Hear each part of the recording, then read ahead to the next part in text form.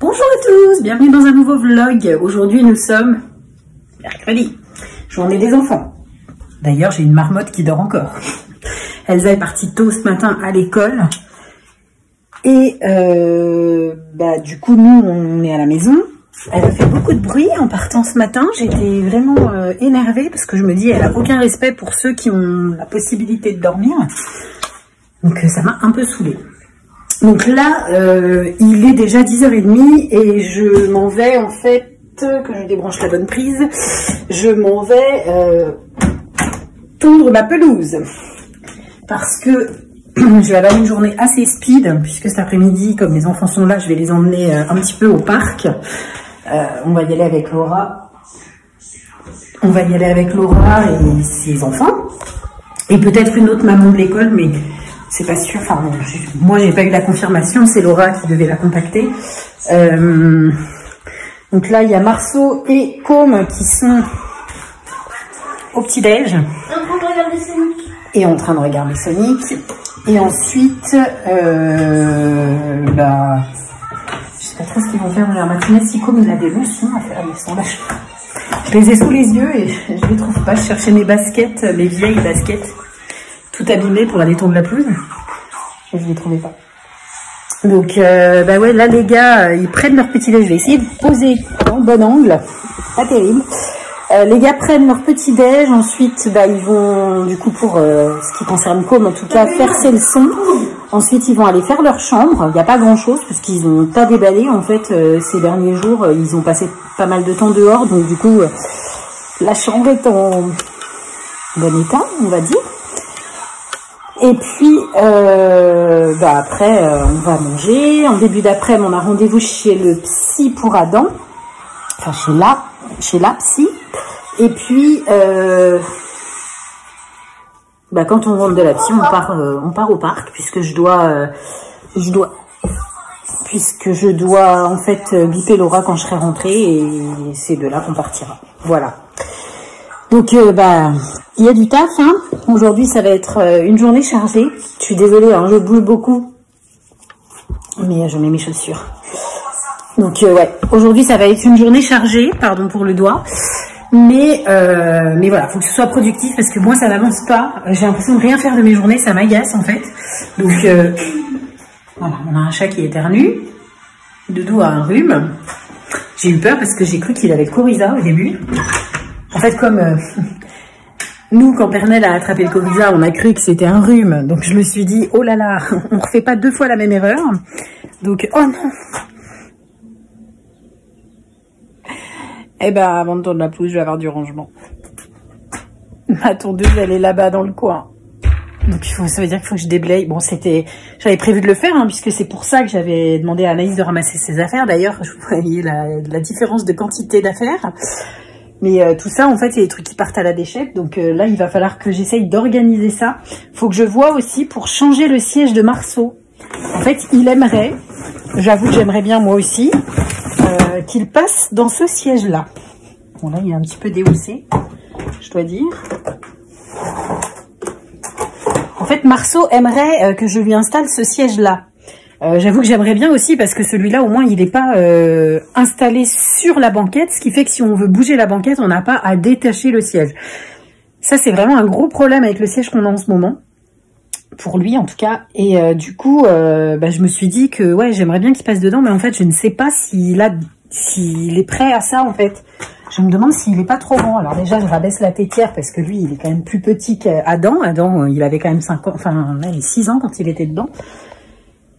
Donc, euh, ben, je sais pas. J'ai un élastique à recoudre. Donc déjà, je vais commencer par recoudre l'élastique et puis on va peut-être faire un essai de le mettre dedans parce que c'est marqué 15-36 kilos. Le souci, c'est que en fait, Marceau, il fait 15 kilos, mais il est petit. En fait, il est petit mais trapu. Et du coup, bah, la ceinture, elle est quand même un peu limite. Donc, euh, enfin, la dernière fois qu'on l'a essayé, en tout cas, c'était un peu limite. Donc, c'est vrai que là, il a grandi puisque il est officiellement passé aux 4 ans en taille de vêtements. Donc, euh, bah, je vais réessayer et puis on verra bien. Bon, bah en attendant, euh, j'ai du boulot. Il hein, faut que je dégage tout ça pour pouvoir sortir ma, tondeuse. Donc, euh... action, réaction. Et ben, je vous reprends ma salle de bain. Hein. Je vais aller prendre une douche parce que c'était pas une mince affaire. Hein. Il n'y avait pas beaucoup de hauteur de pelouse en fait, mais c'est toutes les mauvaises herbes qui étaient hyper hautes. Et euh, enfin, on avait limite des épis de blé dans le jardin, pour vous dire à quel point c'est vraiment pas de la pelouse, mais de l'herbe. Et enfin, c'était vraiment chiant en fait. Donc, euh, et puis elle est tellement clairsemée, il y a des endroits il y en a, il y a des endroits où ça a cramé, machin, enfin bref. Mais en tout cas, euh, c'était pas une mince affaire avec la chaleur qu'il fait dehors. Je sais pas combien il fait de degrés encore, mais il fait déjà très très chaud. Donc là, vous vous en doutez, je vais prendre une douche, du coup je vais me laver les cheveux en même temps. Et puis après, bah, je vais aller faire à manger pour les enfants, ils sont en bas, donc Com a fait ses leçons, ils sont en train de jouer maintenant. Donc c'est parti, je vais prendre ma douche parce que là j'en ai clairement besoin. Bon, je vous reprends, il est 13h. Je suis désolée, il y a du, du bruit derrière moi. Les enfants sont exécrables. Ils sont en train de se battre à celui qui va manger à côté de moi, euh, à celui qui va ranger, celui qui va pas débarrasser, celui qui va pas mettre la table. J'en ai ras-le-bol. Donc, euh, voilà, là c'est la compétition. Elsa, elle a mis que deux assiettes. Donc rien ne va plus, ça me fatigue. En fait, là, je suis devant l'ordinateur parce que je me suis rendu compte en sortant de la douche que ben, j'ai oublié de mettre mon vlog en ligne ce matin. Je l'ai monté, mais j'ai oublié de l'uploader sur euh, YouTube. Donc voilà. je suis en train de le faire. Et euh, ça tombe bien parce que la photo qui me présente, euh, je, enfin, je sais même pas si vous savez, en fait, le créateur studio qui nous, nous permet de mettre les vidéos en ligne, il nous propose en fait des photos. Il nous propose trois photos et on choisit celle qu'on met en première sur la vidéo. Et du coup, enfin en miniature du coup. Et là en fait il m'a proposé une photo qui va tout à fait avec mais oh une photo qui va tout à fait avec euh, le oh t'es moche euh, ça c'est ma tablette ah bah oui je me disais bien pas fait ça euh, ouais il m'a proposé une photo qui va parfaitement bien avec le le, le titre du vlog en fait donc euh, c'est parfait alors, je cale mon écran de fin. Enregistré. Et normalement, j'ai terminé. Ah bah non, t'as l'étape 5 à Là, je le mets en public et je publie. Voilà. Les pubs, quand même. Bah, c'est fait déjà, j'ai fait avant les pubs. Donc voilà, le vlog est en ligne. Il est 13h04. Donc euh, oui, vous pouvez les partager, les vlogs, c'est vrai, ça fait de la pub. Hein. Bon, on a monté un petit peu dans les abonnés, mais euh, en fait, il y a quelques temps, je, me disais que j'allais peut-être arrêter les vlogs parce que la chaîne, elle a stagné. Euh, quand j'étais à 1400, je sais plus combien d'abonnés, en fait, la chaîne, elle stagnait. Il y avait plus de nouveaux abonnés. Euh, j'en perdais un euh, toutes les semaines. Euh, je m'étais dit, bah c'est mort, hein, ça sert à rien quoi. Donc je me suis dit que j'allais peut-être arrêter. Et puis en fait, c'est remonté puisque vous voyez, depuis, bah, on a 200 abonnés de plus. Donc c'est pas mal. Et bah, je suis bien contente. Donc oh là là, j'ai encore, encore des mouches partout. C'est une catastrophe. Bon bah du coup, on va manger. Les enfants ont terminé de mettre la table. Wow, wow, wow. Je fais tout tomber. C'était une catastrophe. Donc on va manger et puis euh, bah, cet après-midi, euh, direction la psy avec Adam. Et puis ensuite, euh, bah, le parc avec les copines. Bon, je vous reprends, il est 23h20. Anaïs est rentrée là depuis un petit quart d'heure. Et puis, ben moi j'ai monté le vlog jusqu'ici, ça a été très long parce que je sais pas, j'ai des pro en fait en ce moment j'ai des problèmes avec l'ordinateur, j'ai des problèmes avec le téléphone. Donc c'est vrai que les montages vidéo sont un peu compliqués. Donc là je vous ai mis sur le pied, je fais ma feignante ce soir, j'ai pas envie de le porter. Mais euh, c'est surtout qu'en fait j'avais commencé à vloguer euh, la clôture euh, en même temps que je faisais ça. En fait j'ai lavé le siège auto de Marceau que j'ai retiré de la voiture du coup. ça c'est le modèle Recaro, le Young Sport. Euh, il est vraiment top. Hein. Franchement, moi, il me manque juste le petit coussin qui va là, en fait. Mais à vrai dire, euh, quand on le met, euh, l'enfant, il rentre plus dans le siège. Enfin, moi, en tout cas, je l'ai mis à personne parce que sinon, bah, les fesses, elles rentraient pas dans le siège ou alors ils étaient, ils étaient trop serrés, ça les gênait. Du coup, je l'ai enlevé et puis, bah, en fait, j'ai tellement déménagé que je l'ai perdu. À vrai dire. Donc, bah, du coup, je n'ai plus ce coussin. Je ne sais pas ce que j'en ai fait. Euh, donc euh, bah, je voulais le mettre en vente sur le bon coin demain et finalement Laura est intéressée pour me le racheter. Donc du coup je n'ai même pas besoin de le mettre en vente, ça me va bien. Donc euh, bah, là je l'ai lavé, du coup à la base pour le mettre en vente, mais je n'ai pas besoin finalement de faire l'annonce. Et puis bon, je sais pas trop quand est-ce que Laura va le prendre, mais en tout cas il sent bon, il est tout propre. Donc je suis très contente bah, de l'avoir gardé en aussi bon état. Ça me va bien. Du coup, Marceau, bah, il a effectivement récupéré le siège euh, bah, que je vous ai montré euh, ce matin dans, la, dans le garage. Euh, je viens... Anaïs, elle fait ses messages vocaux à côté. Oui, non, il n'y a pas de souci. Et du coup, euh, le siège qui était dans le garage, en fait, euh, j'ai juste baissé cette partie, en fait, que j'appelle la tétière. En fait, ça, c'est réglable en hauteur. Même sur ce, siège-là, c'est pareil. Hein. C'est pour que ça s'adapte, en fait, à la taille de l'enfant. Donc, euh, du coup, la, le siège, il est réglable au niveau de la tétière en hauteur. Donc, euh, ben, en fait, dans la tétière, il y a euh, des crochets sur le côté pour fixer la ceinture. Et la dernière fois que j'ai monté euh, Marceau dans ce siège, il était réglé à la taille d'Adam. C'est-à-dire que la tétière, elle était tout en haut au maximum. Parce qu'Adam, quand il l'a utilisé, il avait 6 ans. Donc, Marceau n'en ayant que 4, du coup, c'était compliqué. Et donc, quand j'ai passé la ceinture de sécurité dans le crochet, ben, en fait, il avait la ceinture qui était là sur lui, quoi. Donc, c'était pas possible.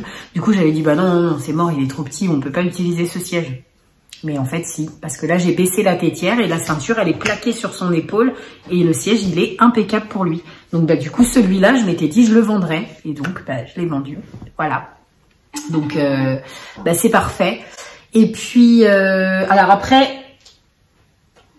il y a peut-être un inconvénient au fait d'avoir changé de siège, c'est que je pense que l'autre, il est plus large en fait que celui-là. Et du coup, dans une voiture plus petite, puisque je repars sur une voiture 5 places, euh, bah, j'espère que ça va pas être trop euh, gênant pour Com qui monte au milieu en fait. Parce que Adam, lui, il a son petit siège de son côté, Marceau, il a le sien, et Com, il monte entre les deux en fait. Et j'espère que ça va pas être trop serré pour lui du coup. Et euh, bah, si c'est le cas, au mois de mai, quand je reprendrai une voiture en location longue durée, bah, je repartirai sur un 7 places et puis c'est tout. C'est pas, pas la fin du monde. Enfin, en tout cas, avec une, sur une voiture qui a trois vraies places à l'arrière, quoi. D'ailleurs, j'ai vu euh, cet après-midi en allant au parc, j'étais donc avec Laura et avec Marine, euh, je ne sais pas si vous vous en souvenez, je vous en ai parlé il y a quelques temps, c'était au mois de février, peut-être février-mars, je sais plus, juste avant le confinement. Euh, j'avais fait la connaissance en fait d'une personne qui avait fait la même formation euh, Instapreneur Pro que moi et qui habite dans la commune juste à côté. Euh, donc bah, c'était plutôt sympa parce que comme Laura l'a fait aussi, bah, en fait on s'est retrouvés toutes les trois participantes de la même formation sans même savoir qu'on était voisines quoi. Donc c'était c'était rigolo. Donc là on s'est vu cet après-midi. Donc Marine est venue nous rejoindre puisque finalement on est resté sur notre commune parce que en fait euh, on voulait aller euh, à Coron dans la commune voisine, mais apparemment Marine elle habite à Coron et en fait euh, là-bas il paraît que le parc il est en plein soleil, mais la totalité du parc en fait il y a aucune zone d'ombre. Alors que nous à Vezin on a des arbres, on a plein de choses donc on a des zones d'ombre, on a même une partie de forêt enfin qui est hyper ombragée et très fraîche d'ailleurs. Donc on y est resté un moment à vrai dire et puis il y a des il y a un parcours sportif en plus à l'intérieur. Donc du coup les enfants se sont amusés dessus donc c'était c'était plutôt sympa, on a vraiment passé euh, un bon après-midi. Donc et du coup Marine, elle est venue euh, avec son sa nouvelle voiture. Elle vient de s'acheter en fait le dernier Scénic chez Renault. Donc euh, j'avoue que c'était celui que je visais. En fait, je vise le 5008 ou le 3000, puisque moi je repartirai... Oui, effectivement. Anaïs mange une brioche au Nutella et elle a un trait de Nutella.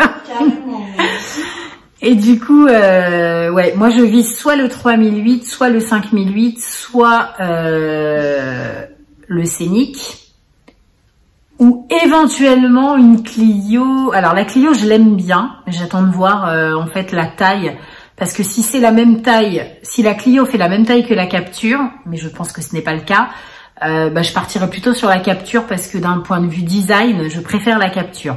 Maintenant, euh, la Clio, je pense qu'elle est plus grande, donc elle conviendra certainement hein mieux à mes besoins. Donc du coup, euh, ouais, au niveau des voitures, je pense que je partirais bah, en fonction du gabarit, soit sur la. Alors la capture, si c'est une trois vraies places à l'arrière, euh, si c'est pas le cas, je verrai pour la Clio. Mais si elle n'a pas non plus trois vraies places à l'arrière, euh, bah, je partirai sur un Scénic. Euh, mais ma priorité serait quand même un 5008 ou un 3008, mais visiblement, il paraît qu'ils sont hors de prix. Voilà. Du coup, bah, cet après-midi, super après-midi au parc. C'était vraiment top. Ensuite, on est rentré, les enfants ont pris leur douche, on a regardé DNA comme d'habitude, on a mangé. au final, on aura fait trois repas sur le même barbecue alors que je n'ai pris que deux barquettes de viande sur les quatre. Donc du coup, il me reste euh, la même chose dans le congélateur. Donc euh, bah, cette semaine, on va pouvoir se refaire un barbecue. Donc euh, bah, là, mon jardin, il est tout beau, tout propre. Hein. la pelouse a été tondue. D'ailleurs, on n'a pas été arrosé. Le potager ce soir, avec la chaleur qu'il a fait aujourd'hui, c'est pas tip top. Donc j'irai demain matin, je pense. Je vais essayer d'y penser. Donc voilà. Et puis, bah, je crois que c'était tout ce que... Non, je voulais vous dire aussi. Il y a une chose que je voulais vous expliquer. Je sais pas si ça va vous apporter particulièrement quelque chose, mais je voulais en parler. Euh, en fait, j'ai des problèmes avec mon téléphone. Euh, je filme toujours avec mon téléphone. Hein. Depuis le début de ma chaîne, j'ai toujours vlogué avec mes téléphones parce que j'ai toujours mis un point d'honneur à avoir un téléphone qui a une bonne résolution d'écran. Alors là, j'avoue qu'au montage, tout à l'heure, je me disais que l'image était pourrie. Alors bon, peut-être falloir que j'envisage d'acheter une caméra, je ne sais pas. Mais en tout cas, j'ai des problèmes de son avec la caméra de mon téléphone puisque euh, j'en avais déjà parlé il y a quelques temps que en fait euh, quand j'allume la caméra il faut que j'attende 15 secondes avant de parler parce que sinon on n'entend pas ce que je dis en fait. Le son de la vidéo il est au minimum pendant 15 secondes et ensuite il, il passe en son normal d'un coup. Le son il remonte d'un coup. Donc j'attendais systématiquement 15 secondes avant de commencer mes vidéos. Sauf que depuis euh, trois jours, euh, peut-être même quatre, bah, je dois attendre une minute en fait.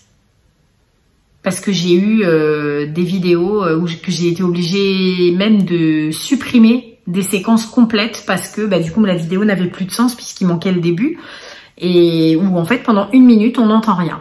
Donc bah, du coup je suis un petit peu embêtée, j'avoue que je sais pas trop comment régler ce problème. Sur le coup, je me suis dit, bah, je vais aller sur ces discounts et puis je vais me racheter un iPhone, tout simplement.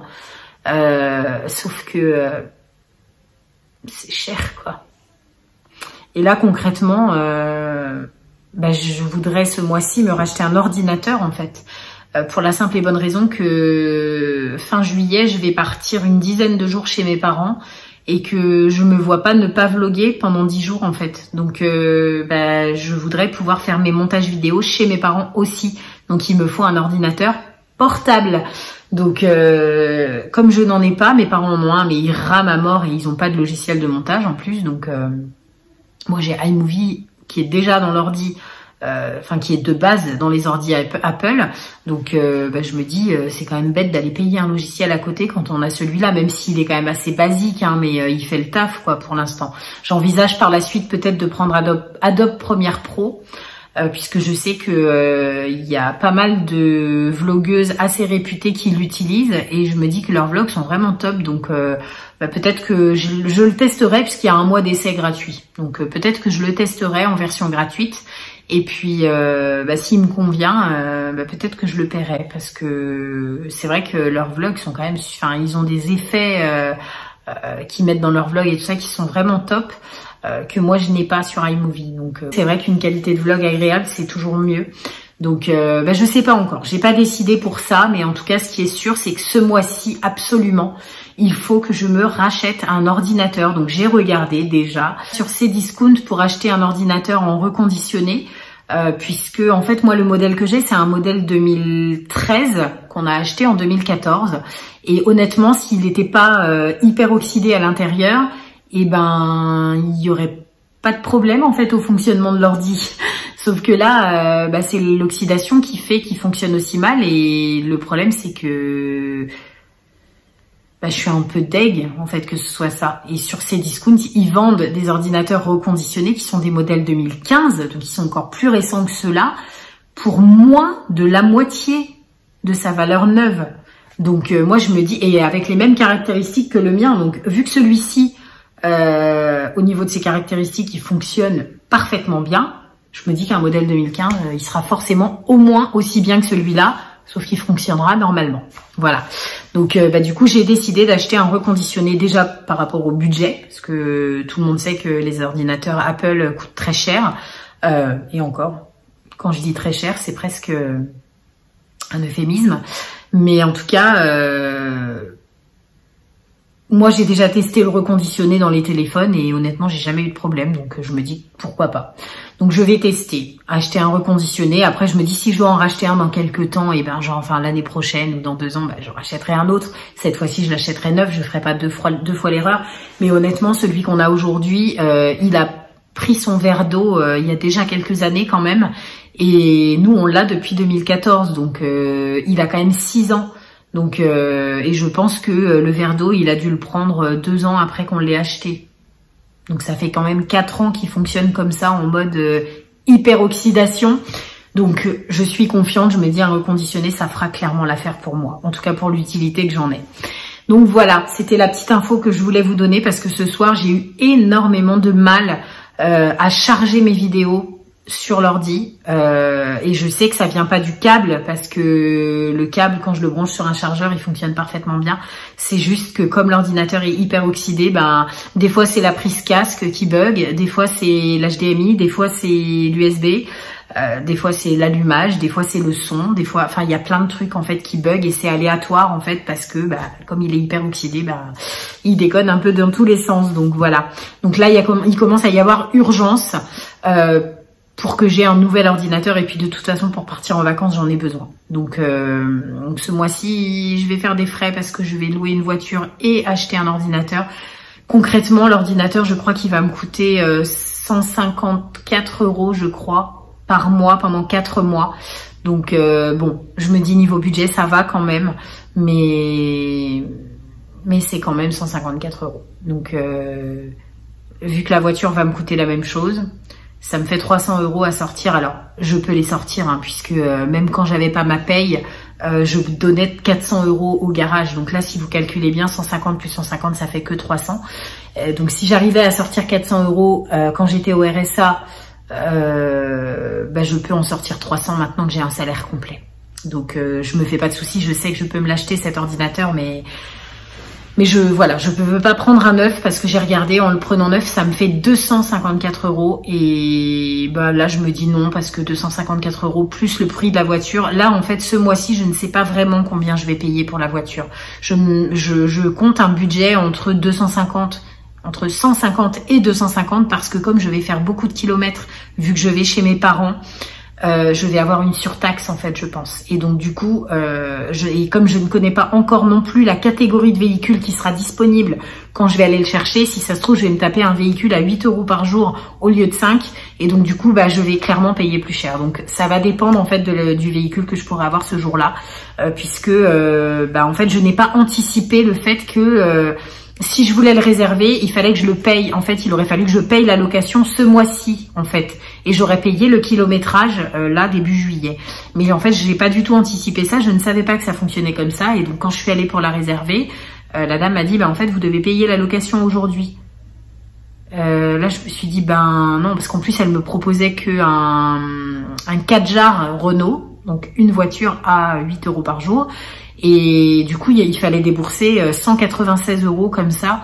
Euh, bah j'ai dit non quoi, j'ai dit non non, j'ai dit je vais pas les donner aujourd'hui parce que on est enfin, j'ai déjà expliqué, hein, moi j'en parle beaucoup dans les vlogs du budget, mais c'est vrai que quand on est en fin de mois, euh, ben moi j'arrête de dépenser de l'argent surtout des grosses sommes comme ça. Donc euh, en fait j'assure mes arrières. Je me dis que si jamais euh, on a une dépense imprévue comme là par exemple j'ai eu deux consultations psy que je n'avais absolument pas prévues dans mon budget. Ça fait 80 euros de plus quand même.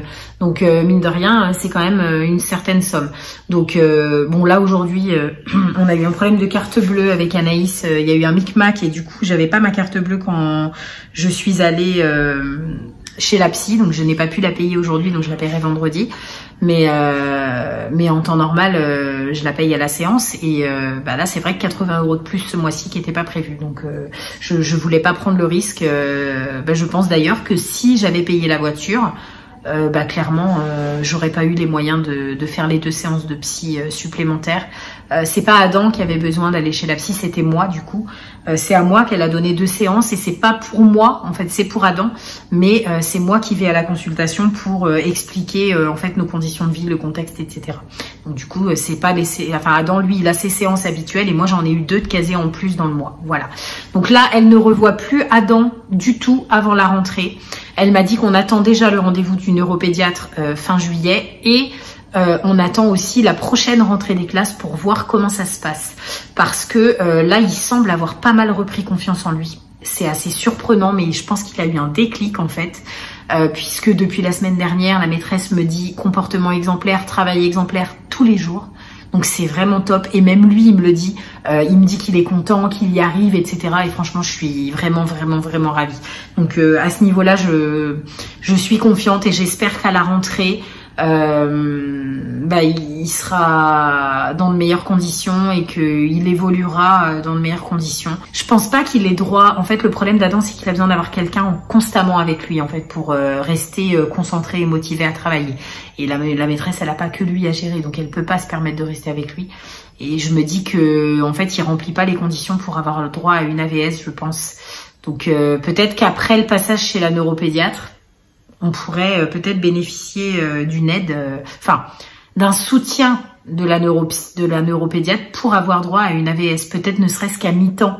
Mais si ça, moi je pense, je suis quasi persuadée que ça l'aiderait énormément. Maintenant, je sais que des AVS, bah, c'est des profils qui sont très recherchés, il y en a très peu. Et bah, du coup, je pense que c'est pas attribué comme ça à la légère. Donc, je doute qu'on ait droit qu'on ait droit à en avoir une, mais qui sait on peut tout. Enfin, après, je me dis qu'il ne tente rien à rien de toute façon, donc on va demander. Et euh, c'est vrai que si la maîtresse pouvait avoir un coup de main, ne serait-ce que pour Adam, ce serait vraiment top. Donc, euh, ben on verra ça à la rentrée des classes. On va déjà attendre le, rendez-vous avec la neuropédiatre. On verra comment la rentrée va se passer. Déjà, sa maîtresse, elle met en place un truc que je trouve génial. Alors, c'est pas encore sûr parce que ça va dépendre euh, bah, si les, autres parents acceptent. En fait, elle a sélectionné un petit groupe d'élèves dans sa classe euh, qui euh, bah, demandent un petit peu plus d'attention et d'aide que les autres. Et elle leur suggère, enfin elle propose en fait qu'on les remette à l'école une semaine avant le reste de la classe euh, pour leur accorder du temps en fait bah, juste à eux, juste à ce petit groupe, pour leur permettre de, bah, de repartir sur de bonnes bases, en fait, de remettre un pied à l'étrier dans de bonnes conditions. Euh, du coup, une semaine avant la rentrée, ce serait que le matin. Mais du coup, elle me l'a proposé pour Adam et moi, je trouve que c'est une excellente idée. Et même lui, il est hyper content en fait. Donc, moi, j'ai sauté sur l'occasion. Donc, j'espère que ça va se mettre en place parce que, comme elle me disait, ça dépendra vraiment du volontariat des autres parents en fait. Parce qu'elle m'a dit que si elle n'a pas assez d'élèves, elle pourra pas le mettre en place. Mais, euh, mais en tout cas, j'ai trouvé très très bien déjà qu'elle le propose. Voilà. Du coup, bah, je vais vous souhaiter une bonne journée. Je vous remercie beaucoup d'avoir regardé ce vlog euh, jusqu'à la fin. J'espère qu'il vous a plu. Si c'est le cas, n'oubliez pas le petit pouce. Et puis, euh, un petit commentaire si le cœur vous en dit. Ça fait toujours plaisir. Et puis, bah, je vous dis à demain pour un nouveau vlog. Ciao